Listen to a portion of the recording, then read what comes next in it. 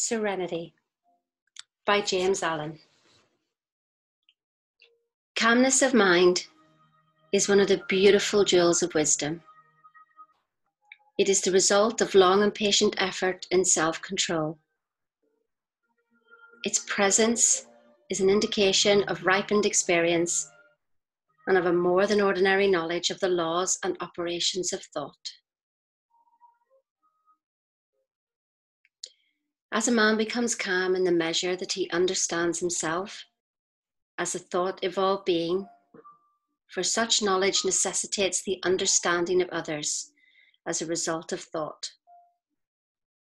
And as he develops a right understanding and sees more and more clearly the internal relations of things by the action of cause and effect, he ceases to fuss and fume and worry and grieve and remains poised, steadfast, serene.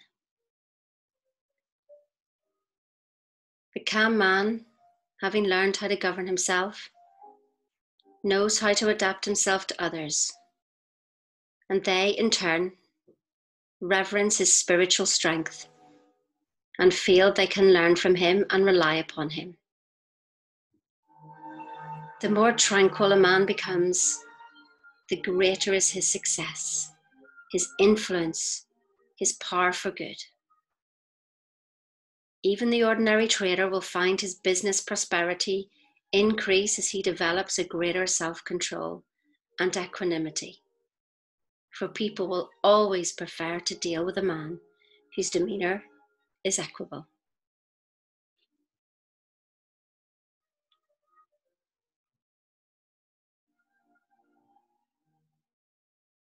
The strong, calm man is always loved and revered. He is like a shade giving tree in a thirsty land, or a sheltering rock in a storm. Who does not love a tranquil heart, a sweet, tempered, balanced life?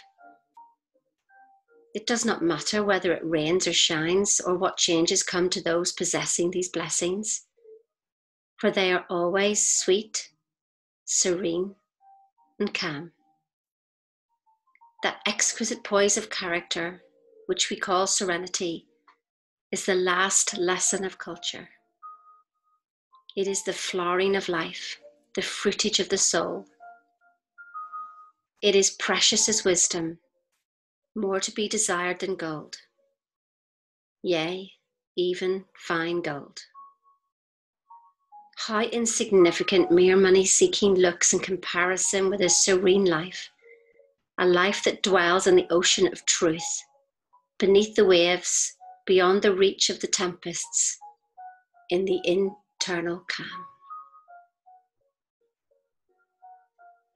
How many people we know who sour their lives, who ruin all that is sweet and beautiful by explosive tempers, who destroy their poise of character and make bad blood.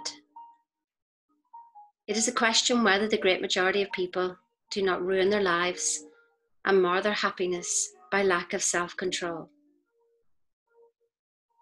How few people we meet in life who are well balanced, who have that exquisite poise which is characteristic of the finished character. Yes, humanity surges with uncontrolled passion is tumultuous with ungoverned grief, is blown about by anxiety and doubt.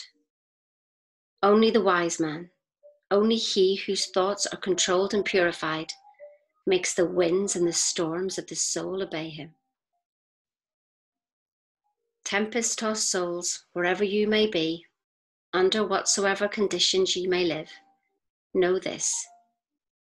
In the ocean of life, the isles of blessedness are smiling and the sunny shore of your ideal waits your coming. Keep your hands firmly upon the helm of thought. In the bark of your soul reclines the commanding master. He does but sleep.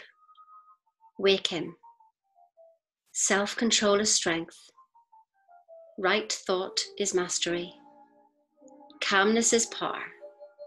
Say unto your heart, Peace be still.